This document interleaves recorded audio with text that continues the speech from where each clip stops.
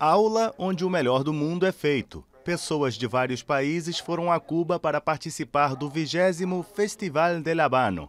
No encontro, os interessados aprenderam que para criar o centro do charuto são necessários três tipos de folha: uma para o sabor, outra para o aroma e uma terceira para a combustão. Tudo isso é enrolado ainda com uma folha chamada manta e uma última, mais úmida, denominada de capa. O trabalho artesanal está longe de ser fácil.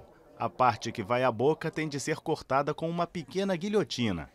Para fumar, o charuto tem de ser aceso antes de ser colocado nos lábios. Não se deve tragar, apenas deixar a fumaça encher a boca e em seguida expulsá-la pouco a pouco. Em 2017, a venda dos habanos bateu o recorde de 500 milhões de dólares e deu emprego a cerca de 1.300 cubanos.